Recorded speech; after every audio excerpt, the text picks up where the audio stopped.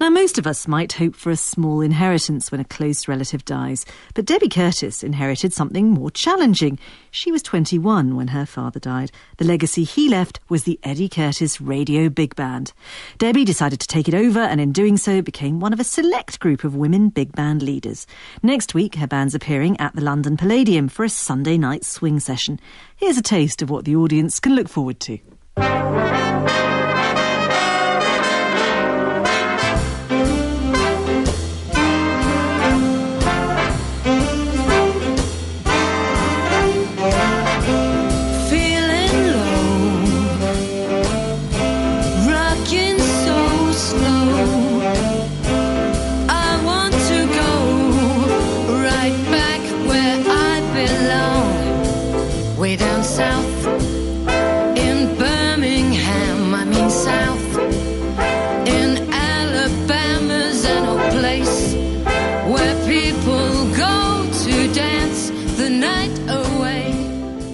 Tuxedo Junction played in that version by the Debbie Curtis Radio Big Band. And we're joined by Debbie Curtis and by trombonist, author, and broadcaster Sheila Tracy.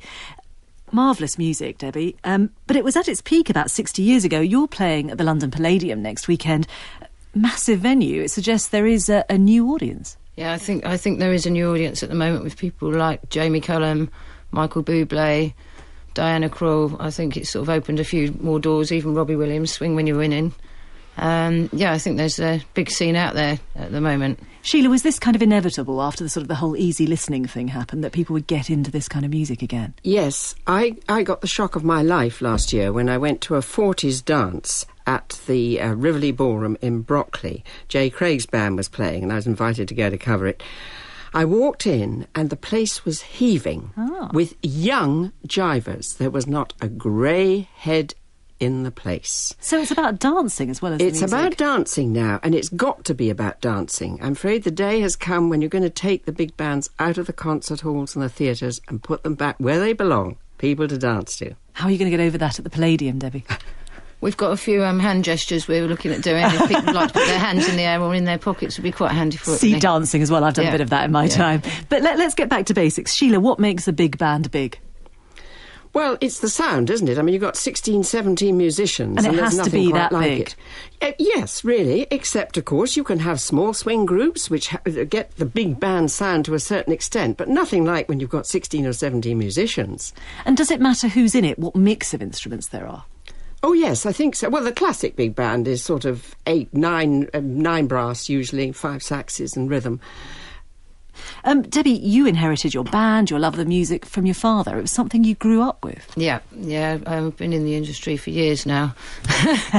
um, but yeah, it's, it's an absolutely fantastic sound, and it's not really until people actually go and see big bands live. I mean, they're great on CDs, but to be actually in front of them, it is an absolutely superb sound. And that was one thing when I first took over my dad's band standing up there, being able to drive a band that size is just the best thing there is. It's and is it brilliant. is it quite different from being part of a smaller band? Is it quite oh, physically different? Yeah, totally totally different. Um, just the whole the whole sound is big, big. It's as you know, a lot of young people I've taken who had never seen big bands, two gigs the first thing they've always been impressed by is how just how loud it is, and it's not coming from a guitar and amp, which you know is what they expect. And when it comes um, to keeping it together, you must have to be a real presence on stage. Yeah, I think I look a bit like Max Wall if anyone remembers him. I do because I've got like the tight trousers and the long coat. Um, but yeah, sort of. Um, sort of, I tend to work on the principle of the more I sort of fling myself around and drive it, the more exciting it is. Um, but bearing in mind, I'm also trying to keep the original audience and and a new audience. So I'm trying to sort of get everyone, you know, and, and, the band has quite a retro feel. I mean, you're wearing quite a 40s kind of outfit this, as well. This today. is a 1940s uh, US Navy outfit. Oh, right. 1938, actually. so you do go for the whole retro thing. You don't think that could um, potentially put off younger people? I don't always wear the retro um, outfit myself. Um, that was just for everyone's hair's benefit. No, sometimes I wear it, but I do have a set of reenactors on the show to try and just so it gives it something a bit visual, especially if you are seated and unable to dance. But I do have dancers on the shows to like show people the kind of you know jitterbug jive, Lindy Hop, everything that went with that era. I mean, it is a brilliant era, and it's live music, so you've got social interaction which you can't get from computers and things like that. Sheila, Debbie's obviously really into the music. But are women ba- band leaders still quite rare? Well, women band leaders, yes. On there, um, Debbie leads an all-male band. I might say she hasn't got any women in her band. I noticed, but um, the very famous know, all-woman band leader, the most famous, was Ivy Benson. Started in 1939 when the war broke out and all the men were being called up. So Ivy walked in and made her name in World War II. Now, there's been Eleanor Keenan recently has formed an all-girl band called the Broadband. But the difference today to back in the 30s and 40s is you've got some very very, good women musicians now, which you didn't have in those days. And uh, you actually um, played with Ivy Benson, didn't you? I was with Ivy Benson, yes. But you see, she, she took who she could get. I was a classically trained I'm musician. sure you were very yes. good. I mean, she is a fantastic trombonist. No, no, I'm not. I'm lousy trombonist. She is but uh, she took who she could honestly. get. I was a classical player. Ivy got most of her brass players, I might say. Um, this was in the 50s. But before that, from the brass bands up north, because none of the music colleges ran jazz courses. All of them do now. Consequently, you've got some very, very good musicians coming out of them. Well, let's hear a bit of Ivy Benson's band uh, playing I Cover the Waterfront.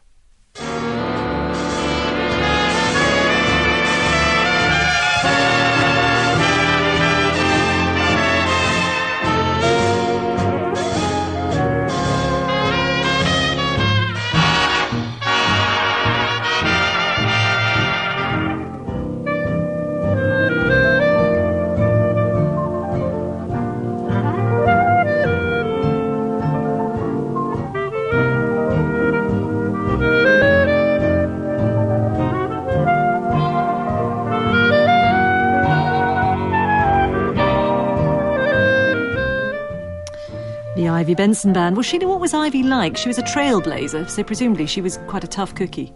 Ivy was a tough cookie, but you've got to remember she was a brilliant instrumentalist. Clarinet there, clarinet and alto sax, and she could hold her own with any of the male band leaders and musicians of the day. She fought very hard, you know, because the men didn't like her. And when she became the BBC house band during the war, based down in Bristol, everybody was up in arms for the male musicians. How dare they give that prime job, you know, to a woman? And uh, Ivy uh, came through it. She she played 22 weeks at the London Palladium at that time. So, Debbie, how do the men in your band deal with having a woman at the helm these days? Um, well, I keep them in uniform and handcuffed frequently. uh, no, they, they, um, no um, I- actually, they've been, they are really good. They're really good musicians anyway. So I think the one thing they do know um, is number one, they've known I, I really am into big band music. I'm not just sort of standing there. Um, so all the arrangements I use, I, you know, I collect arrangements. You know, so if anyone out there's got any musical arrangements, Well, who, who writes the music for big bands? Oh, crikey, there's tons and tons of different arrangers from people like, you know, Jerry Gray used to write sort of some of Miller's arrangements. That was a Jerry Gray version of Tuxedo Junction. Um, to people like Neal Hefti, actually. I know a lot of listeners have probably never heard of him, um, but he was known for a track called Little Darling, but he did actually write, um, he arranged the Batman theme, which everyone knows. Yes. And you've got things like Ray Noble, who also did things like uh, the scores for things like The Shining, which though there's big bands all the time out there, it's just that people don't necessarily know their, you know, you don't associate them. You're listening to them all the time, but you don't necessarily associate them with going to see a show, which I thoroughly recommend you go and see big bands because they are they are brilliant, aren't they, Julia? They're It's absolutely about excellent. seeing them live. so they are really good. You've got these arrangers, but then how much difference does a band leader actually make to the sound of the band?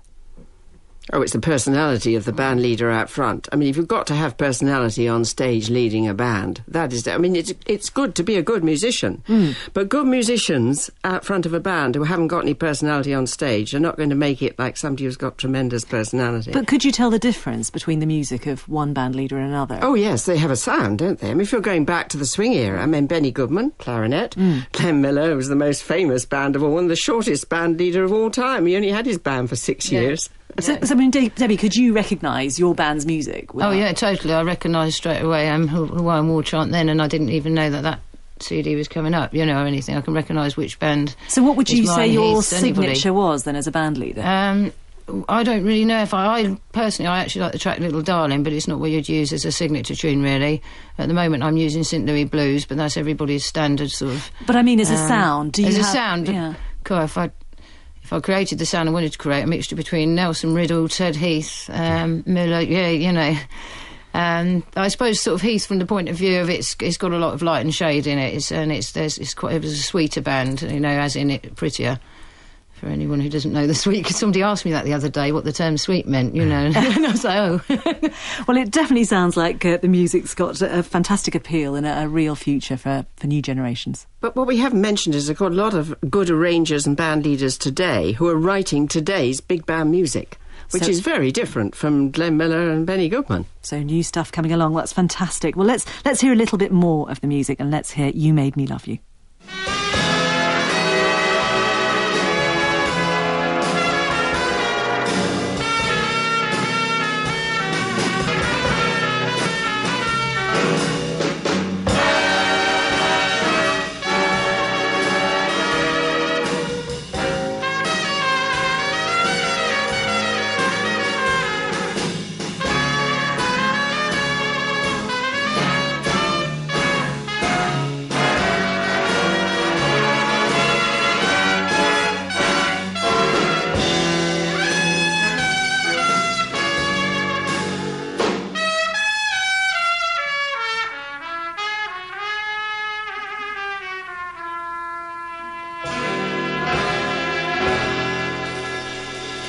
You Made Me Love You, played by the Debbie Curtis Radio Big Band. And thanks also to Sheila Tracy. And you can hear Debbie's band playing at the London Palladium on July the 1st. There are more details on the website.